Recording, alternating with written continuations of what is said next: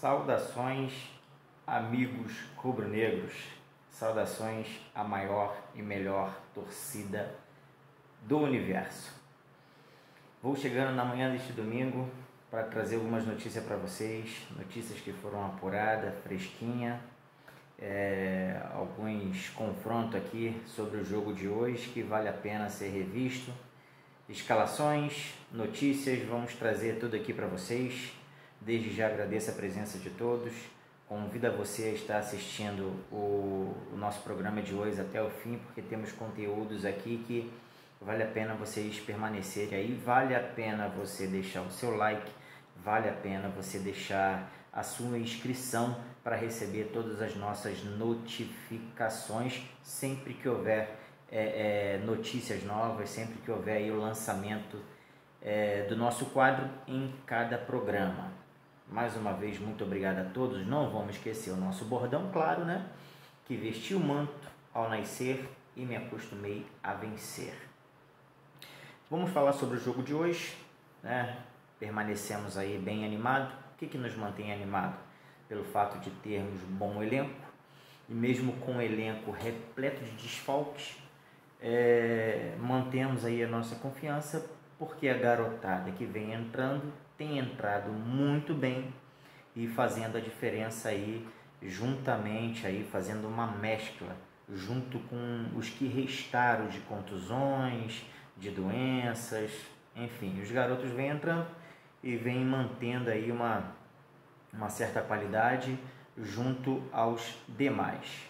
Confronto de hoje contra o Corinthians, como todos sabem, é, às 4 horas da tarde, né? Vamos ter transmissão, possivelmente aí, transmissão da TV Globo. Ainda vamos entrar na matéria aqui para confirmar.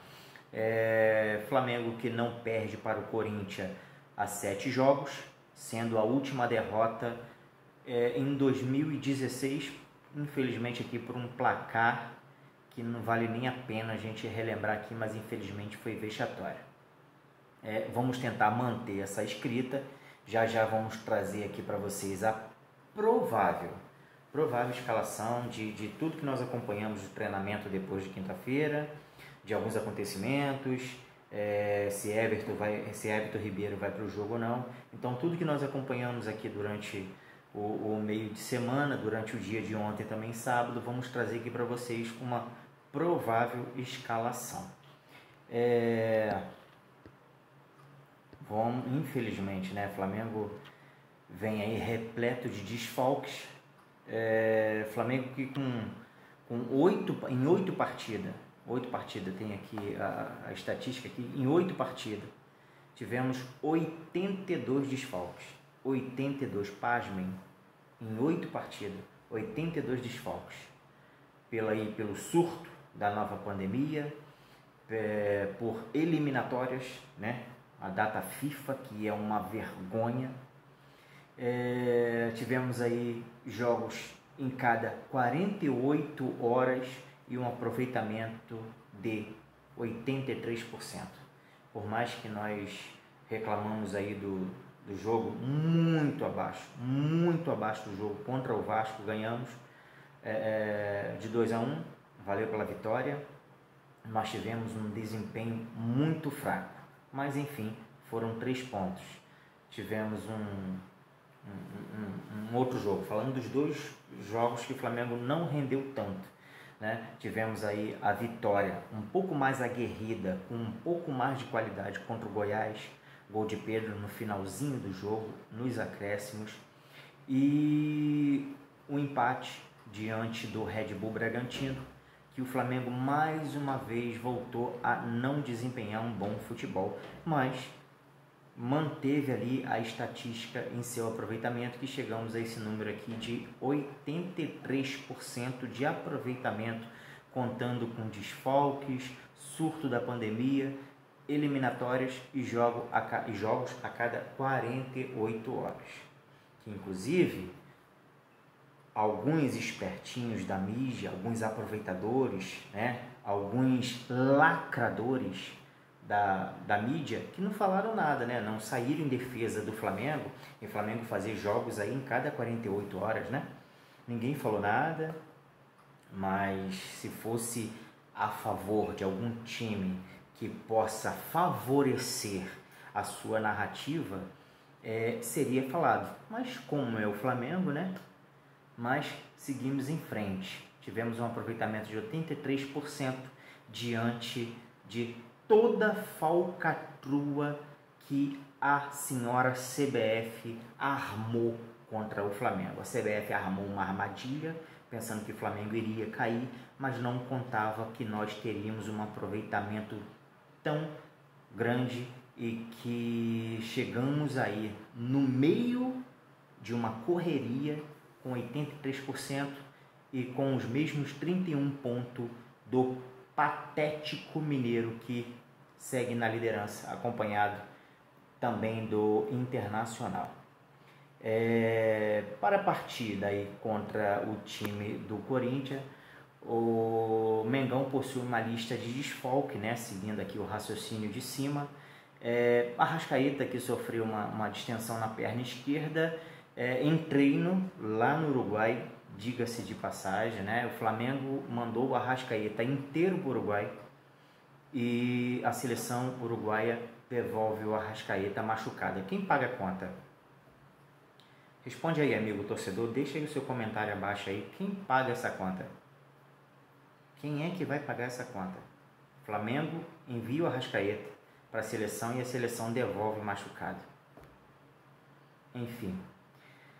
É, ele acabou se machucando lá, né? E se encontra em recuperação. Diego Alves também outros desfalque que, que trata aí de um edema no joelho. Também temos o Gabigol, que está parado já há algum tempo, que trata de lesão no, no, no, no tornozelo. É, também tem o João Lucas, que faz tratamento para, para recuperar a lesão na coxa.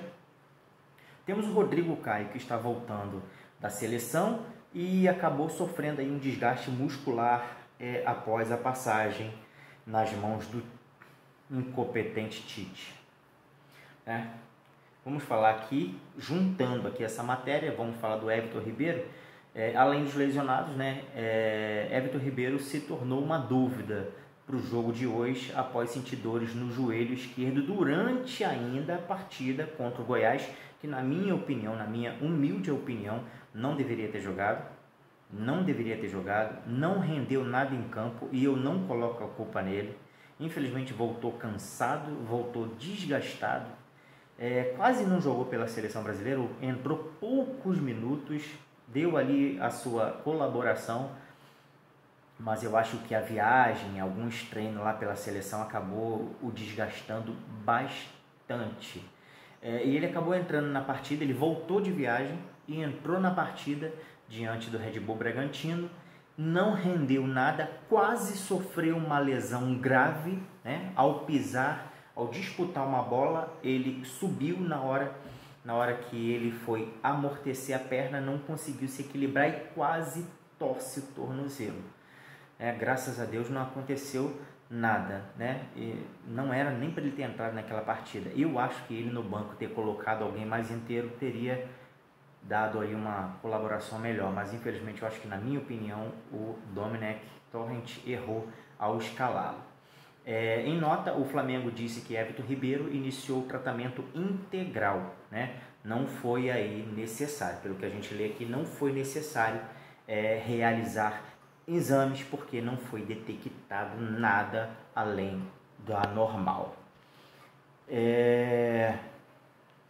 Eu já já trago a provável escalação para vocês, mas eu, eu, eu tô com uma notícia aqui que ainda, ainda estou averiguando se ainda estou averiguando se isso aqui é é de fato uma, uma notícia verdadeira, mas as fontes que vêm que vem trazendo isso daqui é, não falham, tá? Não falham. É, notícia lá do River Plate, o River Plate que não tem aí aporte financeiro e encontra com problemas para manter aí boas peças do seu elenco. É, com isso, o empresário do Nicolas de la Cruz vê com bons olhos uma transferência pelo uma transferência para o Flamengo pelo fato do clube ser uma vitrine enorme é, para qualquer jogador. É, o agente, na matéria aqui também fala que o agente avisou aos dirigentes sobre uma brecha contratual que pode contratar o jovem de 23 anos com mais facilidade.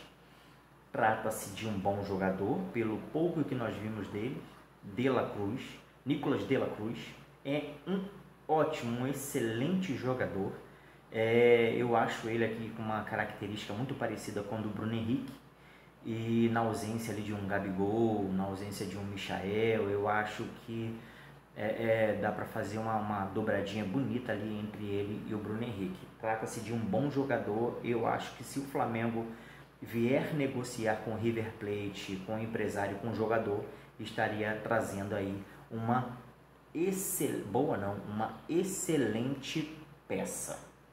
Voltando o foco para o jogo de hoje, é, vamos falar aqui sobre a arbitragem para o jogo de hoje. A comissão de arbitragem da CBF definiu aí, né, o trio de arbitragem para a partida de hoje, às 16 horas, na Odebrecht Arena, né, na Odebrecht Arena, entre Corinthians e Flamengo. O árbitro será aí. Ah, meu Deus do céu! O árbitro será o Leandro Voaden e os assistentes Jorge Everton e Bernard Jorge Everton, o Bernard, como sempre auxilia aqui o Leandro Voade, e o José Causa, todos do Rio Grande do Sul. O Rio, Rio Grande do Sul que também tem aí o Inter, né, lutando pela liderança lá, tá certo? Não, beleza, não tô querendo falar nada não, tá? Mas tudo certo. É, fechando aqui, vamos falar que vamos falar aqui sobre o provável time que o Flamengo mandará a campo no dia de hoje. Não é certo, tá, gente? Trouxe essa escalação aqui por tudo que nós vimos durante a semana. Tudo que nós vimos durante a semana. Pode ser que seja, pode ser que não, porque o Domenech Torrentes, nosso técnico, é imprevisível. Então vamos aqui falar que provavelmente teremos a escalação formada por Hugo, Isla, Natan, Gustavo Henrique e Felipe Luiz, formando ali a, a, a, a zaga, a defesa. Né? É, Para o meio, possivelmente teremos o William, Thiago Maia e Gerson. Tudo isso se baseando em tudo que foi feito no treinamento durante a semana. E para o ataque, possivelmente teremos o Bruno Henrique, Everton Ribeiro ou Michael, a gente não sabe como é que o Everton Ribeiro está de fato, então possivelmente Everton Ribeiro ou Michael, Pedro ou não xinguem, Pedro ou Lincoln, tá?